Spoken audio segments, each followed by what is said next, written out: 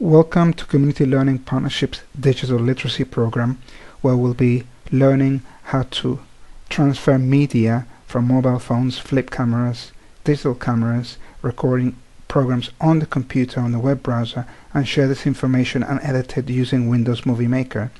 In this particular instance we're going to be looking at the final stage which is publishing a movie using Windows Movie Maker.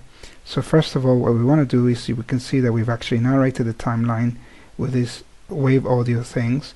We've actually done our titles and we've edited the movies and we can see the preview. So what we want to do now is we want to go up to the menu and go to file and then select the option which says publish movie. So we're going to scroll go down and go to publish movie. This is the option we want to click.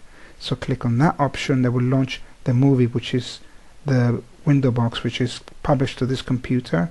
So what we're going to do is click the next button once you do that, it will actually bring you to where you want to publish it, which is I'm happy with this directory, and you can change the file name or keep it as it is. In this case, I'm happy with that, so I'll click next. So click the next button, and that will launch the next phase of the process of publishing. I want to keep it the best quality on this computer, so publish. And that will actually show you a progress bar and the time estimated to finish. We're going to fast forward. So we're 97, 98%. When that's done, it would launch the final window, which will ask you to see whether you want to preview the, the movie in Windows Media Movie Player, or you just want to click the finish button.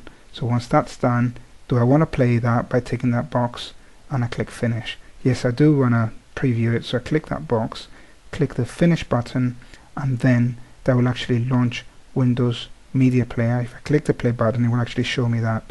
So now you're done and you published your movie. This actually has been part of Community Learning Partnerships digital literacy program. It's actually been narrated, edited and taught by William Doust and it's been edited with Windows Movie Maker free. The screenshots tool is the game for free when it's actually been used. The program director is Elizabeth Borg and the screen recording tool is Cam Studio free. Thank you for listening.